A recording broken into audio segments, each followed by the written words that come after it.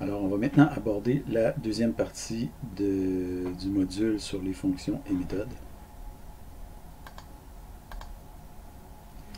Donc, encore une fois, je tiens à remercier grandement monsieur, monsieur mon collègue Mathieu Boutier pour avoir révisé ce document et apporté plusieurs remarques constructives. Donc, tout d'abord, on va voir la notion de schéma fonctionnel. De, ensuite, on va étudier les paramètres out. On va étudier les paramètres ref. On va étudier le mot-clé func, mais pas le mot-clé, le type func, les lambda, et finalement, on va conclure. Donc, euh, peut-être ici paramètres, j'aurais dû mettre, si j'ai mis un S, si j'ai pas mis de S, peut-être que je devrais corriger ça.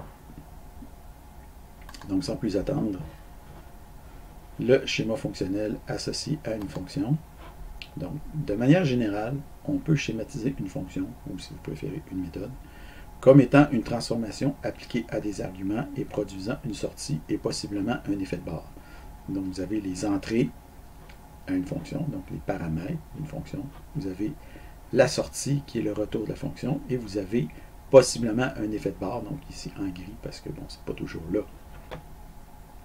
Par exemple, si on prend l'addition, donc l'opérateur plus, c'est une fonction qui prend deux arguments en entrée, les opérandes N1 et N2, et qui produit un résultat en sortie, c'est-à-dire la somme de N1 plus N2. Donc, cette fonction résultante ne produit aucun effet de barre. Donc, pour cette raison, on dit qu'il s'agit d'une fonction pure. Donc, il n'y a pas d'effet de barre produit par la fonction plus. Donc, on marque ici l'ensemble nul pour indiquer ça. Donc, c'est une fonction pure. Si maintenant on prend WriteLine. Donc, WriteLine, c'est une méthode non résultante ou void, c'est-à-dire qu'elle ne produit aucun résultat. Par contre, elle produit un effet de barre. Quand on dit qu'elle produit aucun résultat, il y a un résultat à l'écran. Mais le résultat à l'écran, c'est un effet de barre que ça s'appelle. Donc, la fonction, elle ne retourne rien. Il n'y a pas de return quelque chose. Donc, il n'y a pas de résultat return. Par contre, il y a un effet de barre. Donc, son résultat de cette fonction-là, c'est son effet de barre. Donc, il y a quelque chose qui s'affiche à l'écran. Puisqu'elle a un effet de barre, on dit qu'il s'agit d'une fonction impure. Si on prend maintenant la fonction readline, donc en ce qui concerne readline, elle n'a aucun argument en entrée, mais elle va récupérer une valeur à partir du clavier. Donc, plus précisément d'une entrée qu'on appelle stdin, mais ça c'est quelque chose qu'on va étudier plus en, pro, en prog système à la session 3. Donc, readline n'a pas d'argument en entrée, retourne quelque chose qui est l'entrée utilisateur, mais l'entrée utilisateur est pris à partir du clavier. Donc, il y a un effet de barre. L'effet de barre, c'est de saisir quelque chose à partir d'un environnement, à partir du clavier. OK.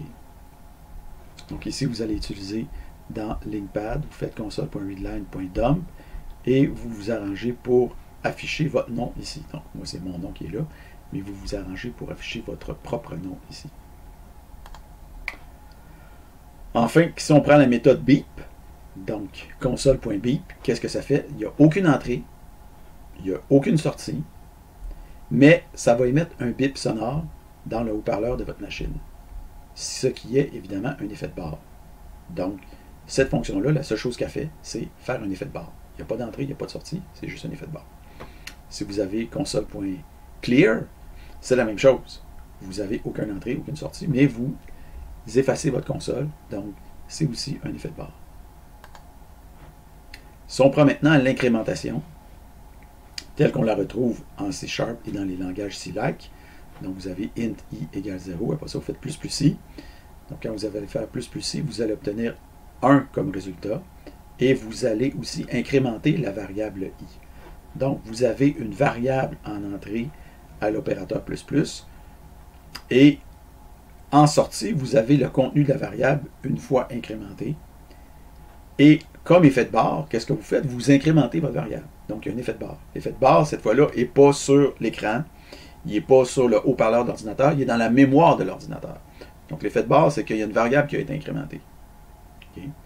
Donc, il y a une variable en entrée il y a le contenu de la variable en sortie, et il y a une variable qui a été incrémentée comme effet de barre. vous allez faire votre saisie. Si maintenant on prend une opération qu'on appelle no-up, donc vous la définissez comme ça, void no-up, aucun argument d'entrée, aucune sortie, cette fonction-là ne fait rien. Donc cette fonction ne produit aucun résultat, aucun effet de barre et prend aucune entrée. Donc une telle fonction est généralement appelée no-up pour no operation. Donc mais à quoi bon? Donc vous dites sans doute qu'une fonction ou opération qui produit aucune sortie ni aucun effet de barre ne sert à rien. D'une certaine manière, c'est vrai. On se sert cependant de ce genre de fonction ou opération pour occuper de la place dans un programme et indiquer spécifiquement qu'on ne veut rien faire à cet emplacement. En fait, cette opération-là est tellement utile qu'elle existe dans la plupart des langages machines et que ça se peut que ce soit l'instruction machine la plus utilisée.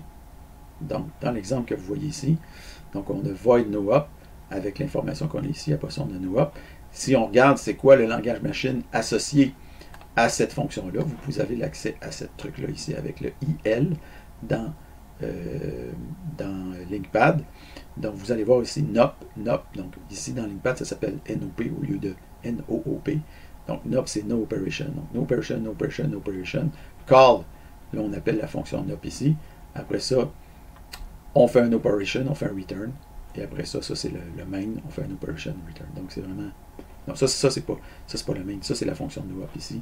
Donc elle fait rien, puis elle fait return. Ok, donc ça c'est la section désassemblage du code. Exercice schéma fonctionnel.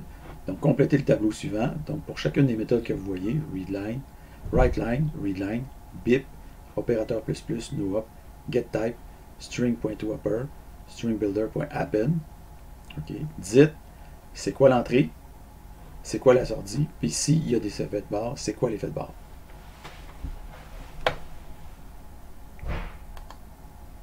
Résumé, chaque fonction possède potentiellement des entrées, des sorties et un ou plusieurs effets de barre.